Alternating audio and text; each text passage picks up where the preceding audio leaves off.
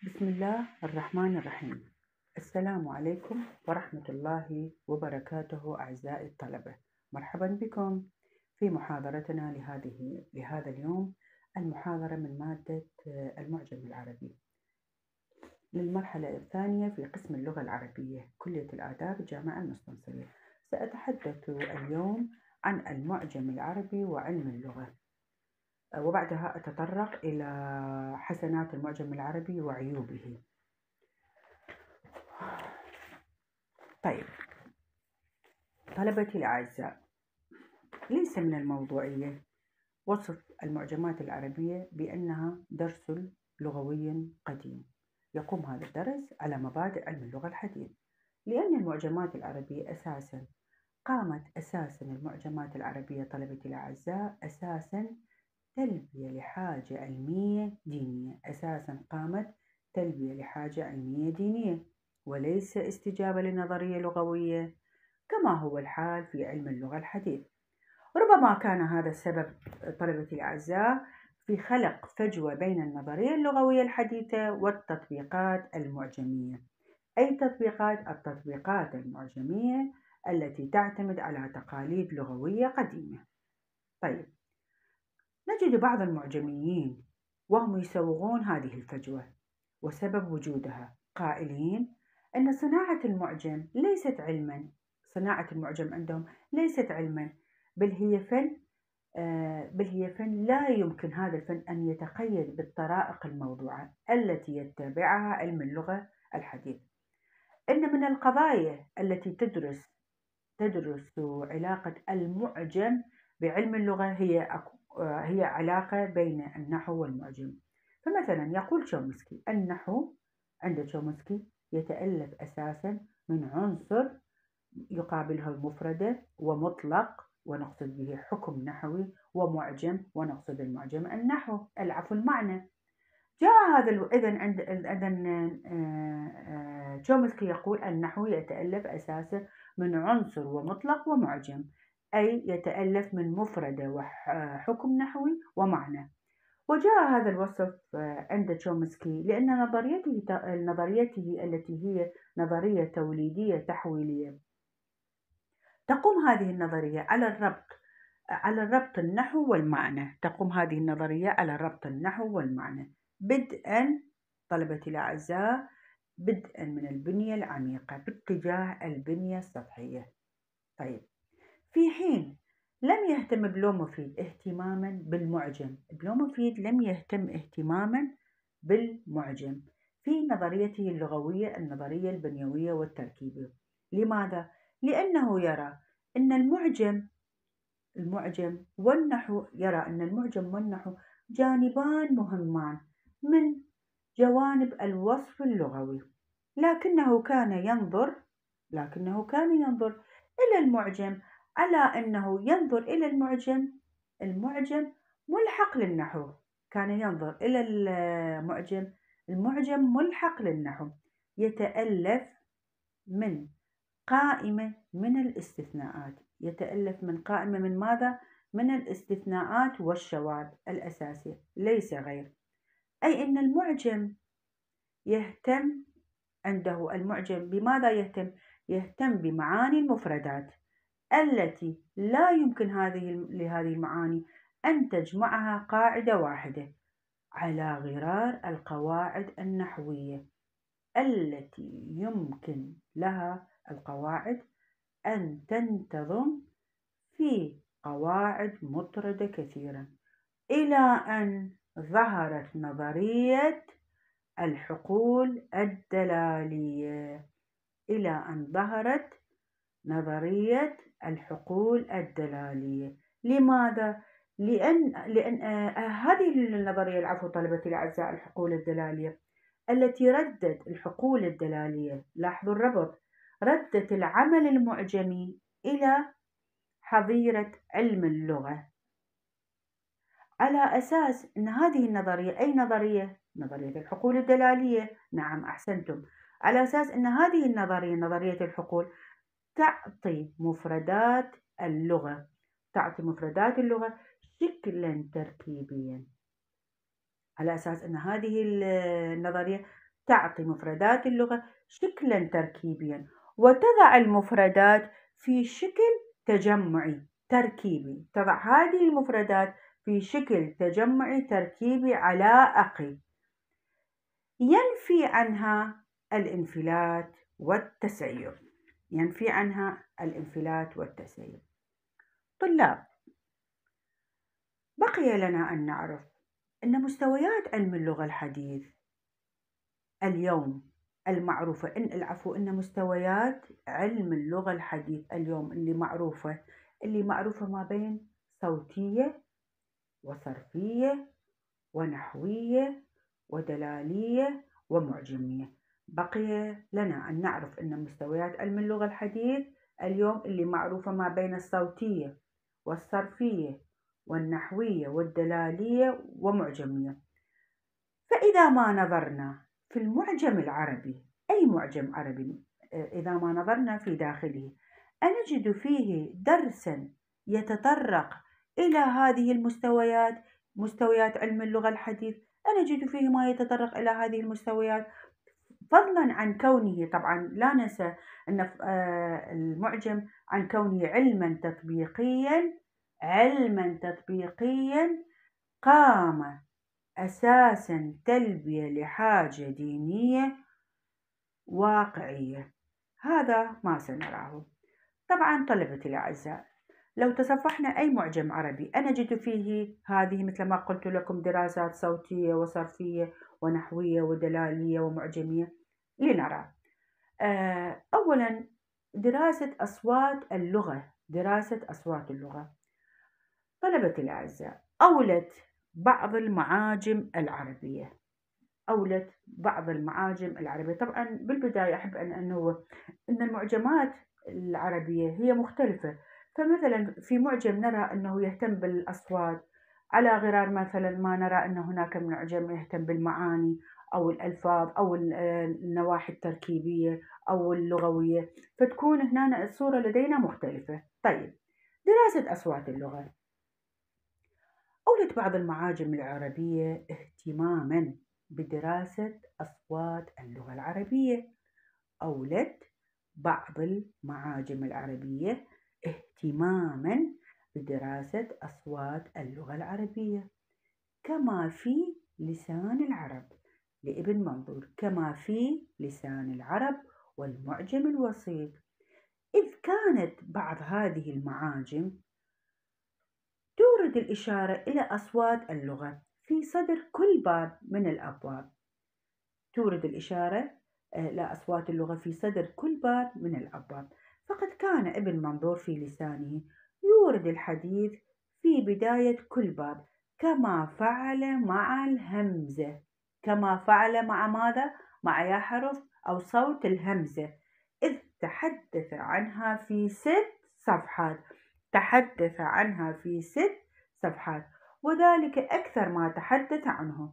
وقد عقد بابا سماه أو أطلق عليه باب ألقاب, ألقاب الحروف. وقد عقد بابا أطلق عليه باب ألقاب الحروف. إذ تحدث فيها عن خصائص الحروف عامة. تحدث عن خصائص الحروف العامة. ثم فصل القول في كل باب على حدة. نعم ثم فصل القول في كل باب على حدة. وكذلك فعل صاحب المعجم الوسيط غير أنه لم يورد بابا في ألقاب الحروف غير أنه لم يورد بابا في ألقاب الحروف. ولم يطل إطالة صاحب اللسان في في باقي الأبواب. طيب. طلبتي الأعزاء قد كان هذان المعجمان يشرحان. لماذا اخترت لكم هذه المعجمات؟ المعجمين آه، آه، كان هذا آه، لقد كان هذان المعجمان يشرحان طريقة نطق هذه الأصوات ماذا يشرحان؟ طريقة نطق هذه الأصوات ومخارجها من الفم مرة أو يبينان خصائصها مستعملة في اللغة. أو يبينان خصائصها مستعملة في اللغة. مرة أخرى وطريقة ائتلاف هذه الأصوات في التركيب اللغوي أيضا. وطريقة ائتلاف هذه الأصوات في التركيب اللغوي. ونحن نجد علماء اللغة نحن نجد علماء اللغة يقسمون دراسة الأصوات الإنسانية آه، إلى قسمين أو ثلاثة أقسام. مثلا نرى علم الأصوات اللغوي. اللغوية علم الأصوات اللغوية. ماذا نقصد بها؟ نقصد بها علم نقصد به علم الأصوات اللغوي يدرس طريقة نطق الأصوات. طريقة نطق الأصوات ومخارجها من جهاز النطق من دون التقيد بلغة ما. اثنين علم وظائف الأصوات. علم وظائف الأصوات يدرس طريقة تأدية الأصوات ووظيفة هذه الأصوات في اللغة.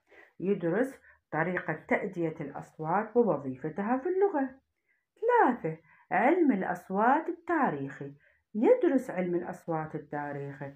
تطور الأصوات تاريخيا. يدرس تطور الأصوات تاريخيا. يدرس تطور الأصوات تاريخيا. ونحن لا نجد هذا التناول الدقيق آه، لدى ابن منظور في لسانه. طيب. أيضا آه، بعد أن انتهينا من دراسة الأصوات نعم بعد أن انتهينا من دراسة الأصوات اللغة آه، نذهب إلى الدراسات الصرفية. طبعا طلبة الأعزاء نحن نأخذ هذه الأشياء بصورة مختصرة. دراسات الصرفية. اهتمت معاجمنا بهذه المسألة كثيرا على اختلاف تفرعات الدراسات الصرفية. نعم اهتمت معاجمنا بهذه المسألة كثيرا على اختلاف تفرعات الدراسات الصرفية. مما يدخل تحت باب مثلا تحت يا باب تحت باب بيان حركة عين الفعل. تحت يا باب باب بيان حركة عين الفعل. اثنين بيان المعرب والدخيل. آه، ثلاثة مثلا ذكرنا التذكير والتأنيث والإفراد والجمع. أيضا لاحظنا بالدراسات بهذه المعاجم آه، إيراد الاشتقاقات آه، بيان أصالة الفعل آه، أو المصدر. أيضا تطرقوا في هذه المعجمات على مسألة تعدي الفعل ولزومه أيضا بيان بعضهم بعض هذه المعجمات قد وضح أو درس بالتفصيل المبني للبيان المجهول من المعلوم من الأفعال آه، فنرى هذه يعني هذه بصورة مختصرة. آه، منها من آه، التي تناولت هذه الظواهر من الدراسات اللغوية في المعجمات العربية.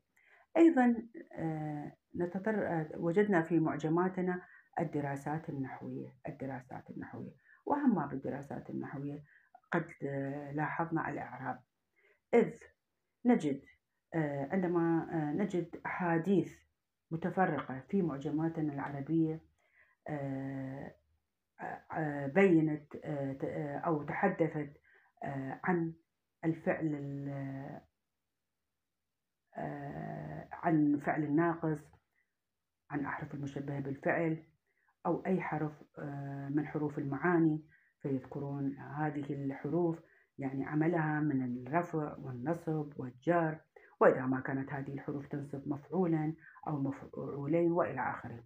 وحتى نرى أنها قد تحدثت عن الفضلات عن أبواب المصطلحات الدالة عليها كما هو الحال في الحديث عن الحال أو التمييز أو المفعول أو الاستثناء وغيرها.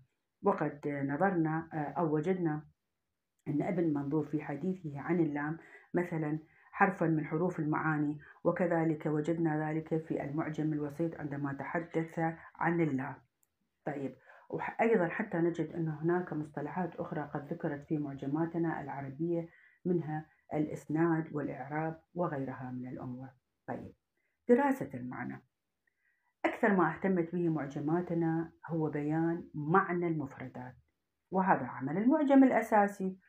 أكثر ما اهتمت به معجماتنا بيان معنى المفردات وقد عرف هذا العمل طلبة الأعزاء عند العلماء بالمعنى المعجمي بماذا عرف هذا العمل؟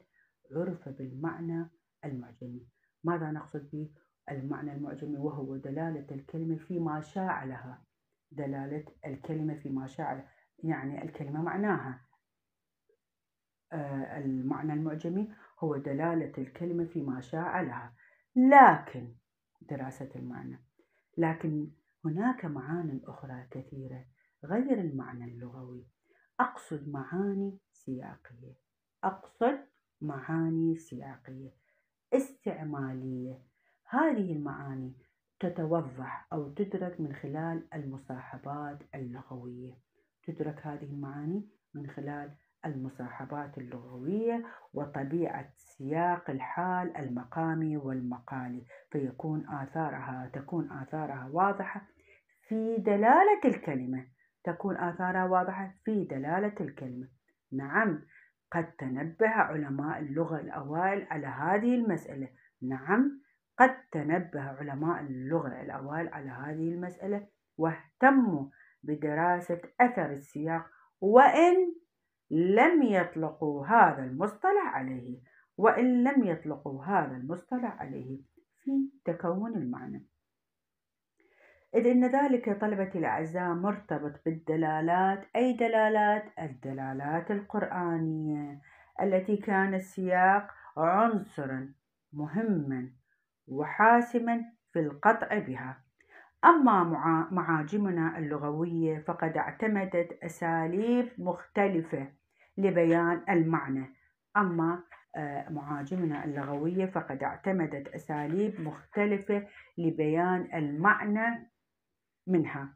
مثلا مثلا عندي التفسير بالمغايرة وأيضا عندي التفسير بالمرادفة. وعندنا التفسير بالمصاحبة اللغوية والتفسير بالسياق والتفسير بإعطاء الكلمة مباشرة. طلبتي أقصد بالتفسير المغاير. أي الإتيان بكلمة تغايرها في المعنى فيتضح الضد فيتضح الضد بالضد.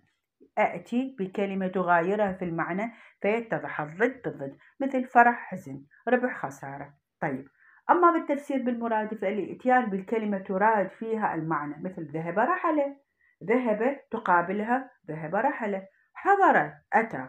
طيب التفسير بالمصاحب اللغوي أي بذكر الكلمة التي يمكن أن آه، تقع في غيرها؟ مثلا عندي كلمة أشتعل عندما أقول أشتعل.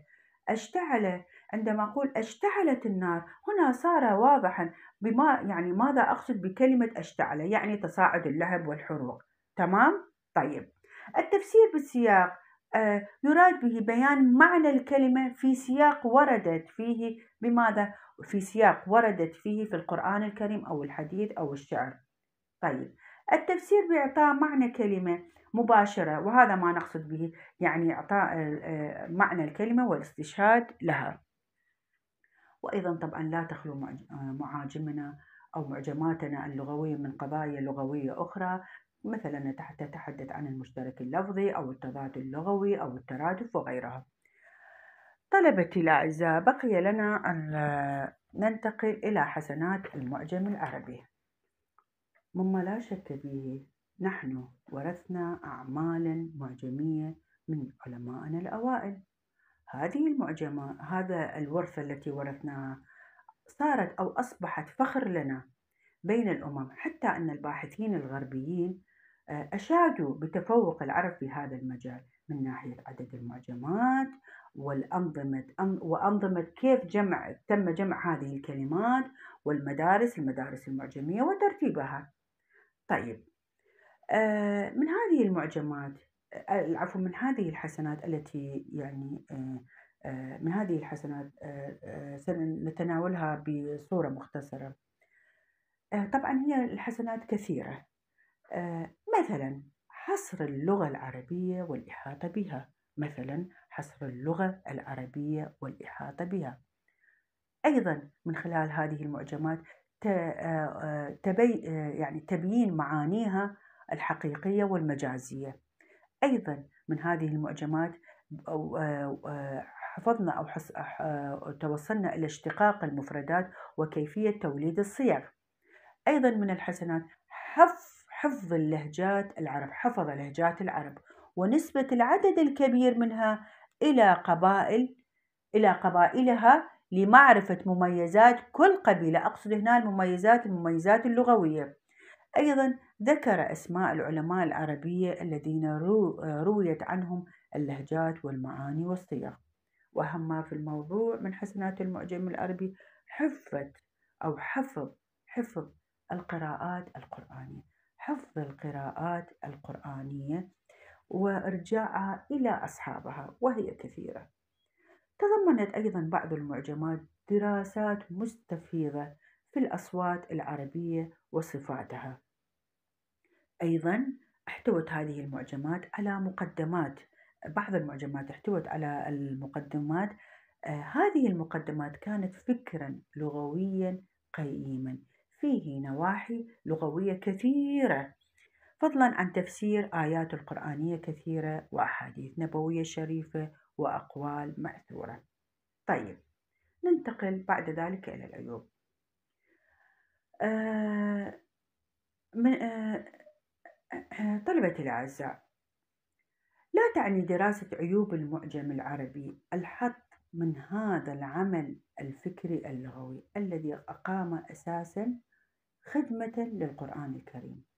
لا تعني دراسة العيوب يعني عيب المعجم العربي الحط من هذا العمل الفكري اللغوي الذي أقام هذا العمل أساسا لخدمة القرآن. بل أن العيب والنقص هو ديدن الأشياء باختلاف مسمياتها في هذه الحياة.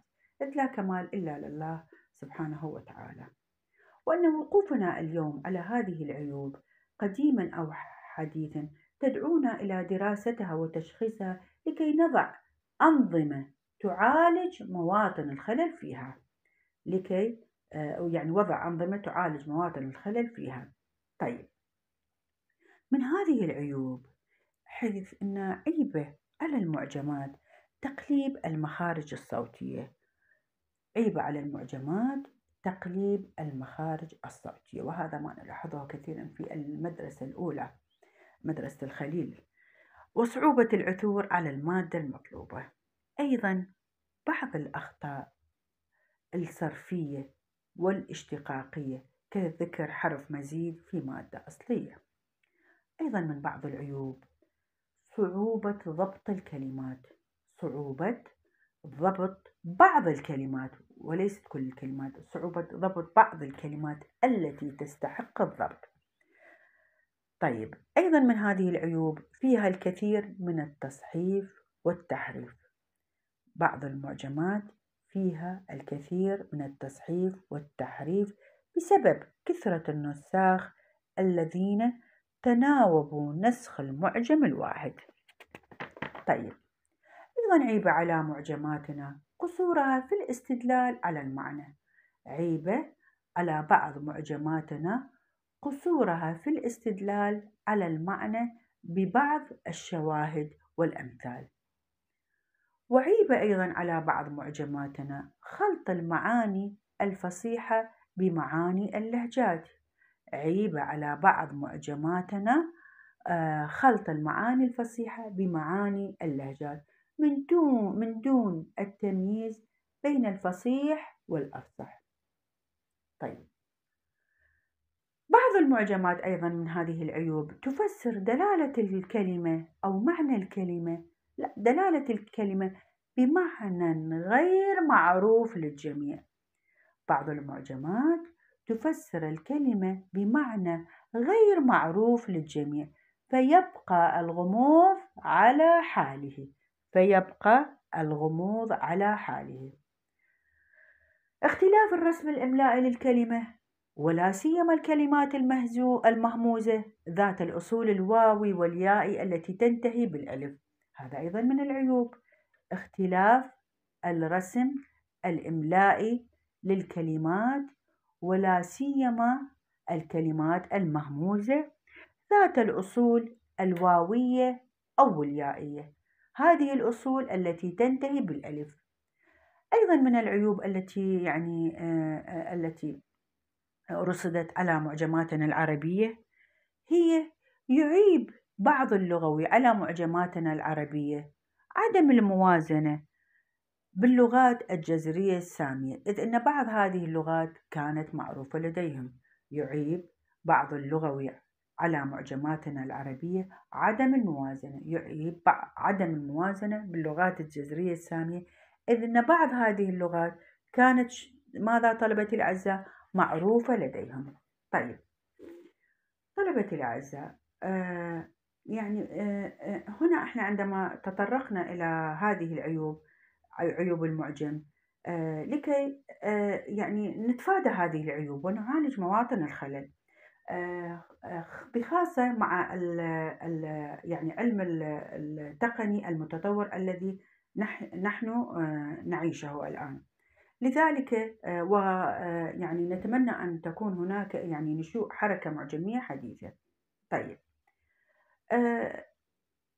بعد هنا يعني بعد أن يعني وقف الباحثون اليوم وشخصوا هذه العيوب ف يعني بحثا عن تفاديها فيما نطمح إليه اليوم في الواقع اللغوي بدأت لدينا حركة جديدة. هي مع أو تجربة معجمية بدأت مع فيشر. تجربة معجمية بدأت مع فيشر. هذه التجربة مبنية على فكرة هذه التجربة المعجمية مبنية على فكرة نقص في جمع المادة اللغوية بتمامها. نقص جمع المادة اللغوية بتمامها. وإضافة ألفاظ استعملها العرب في العصرين الأموي والعباسي فضلا عن التتبع التاريخي لدلالة اللفظ. غير أن المنية والحرب العالمية الثانية حالتا من دون إتمام هذا العمل. الذي كان هذا العمل سيسد فراغا في المعجمية العربية المعاصرة فأصدر مساعدوه أجزاء قليلة في الحروف العربية. أصدر مساعدوه أجزاء قليلة في الحروف العربية. لقد سبقنا مع الأسف الغرب في, في فكرة إنشاء معجم تاريخي. لقد سبقنا الغرب في فكرة إنشاء معجم تاريخي للغتهم الإنجليزية. وكان الفرق في الحادي عشر الهجري أي السابع عشر ميلادي. ولأن العربية خير اللغات التي أختارها الله لتحمل كتابه الكريم فهي أولى بإنشاء معجم تاريخي مهم. فهي أولى بإنشاء آه فإنشاء معجم تاريخي آه آه مهم. لهذا المعجم العربي الذي نطمح إليه أن يكون والواقع اللغوي. من هذا قد لاحظنا من تتبعنا لهذه الحركة المعجمية اليوم أن هناك دول عربية قامت على أساسا على فكرة فيشر. قامت أساسا على فكرة فيشر بماذا؟ لإنشاء معجم يلبي الطموح اللغوي المعجمي. لإنشاء معجم يلبي الطموح اللغوي المعجمي. كما في معجم الدوحة التاريخي. كما في معجم الدوحة التاريخي الذي أنجزت منه المرحلة الأولى من قبل الهجرة إلى القرن الثالث الهجري. المرحلة الأولى من قبل الهجرة إلى القرن الثالث الهجري ثم أنجزت المرحلة الثانية وهي إلى القرن الخامس الهجري وبدأت العمل في المرحلة الثالثة بدءا من السادس إلى الآن. هذه العملية بدأت بعرض نصوص ومدونات كبيرة بلغت الكلمات فيها ما يتجاوز 100 مليون كلمة. ما يتجاوز 100 مليون كلمة وقد تجمع هذا العمل على ما يربو على 300 معجمي عربي من مختلف الدول العربية. وعلى الرغم من ذلك يرى اللساني عز الدين بوشيخي المدير التنفيذي لمشروع معجم الدوحة أن هذا العمل الكبير قد يتعرض إلى النقد. جاء بعده من من العمل المعجم التاريخي للغة العربية أين؟ في الإمارات في الإمارات الذي صدر إلى الآن 31 مجلدا. ضمن ضمت خمسة عشر حرفا من الحروف العربية وما زال العمل فيه مفتوحا وجاريا إلكترونيا ومدونات خطية. لذلك طلبتي الأعزاء نحن يعني كعراقيين آه نطمح أن يكون أيضا لنا آه معجم العراق الكبير. آه، لأن العراق فيه رجال معجميون يشار إليهم على المستوى العربي والعراقي. آه، وأنا في غنى عن ذكر أسمائهم. وأخيرا آه، طلبتي الأعزاء أكتفي بهذا القدر من المادة العلمية التزاما مني في الوقت المحدد لي وشكرا لاستماعكم وحسن إصغائكم وشكرا لجهودكم القائمة على تسجيل المحاضرة. والسلام عليكم ورحمة الله وبركاته. الدكتورة إيمان سليم يوسف آه، قسم اللغة العربية كلية الآداب الجامعة المستنصرية. شكرا لكم.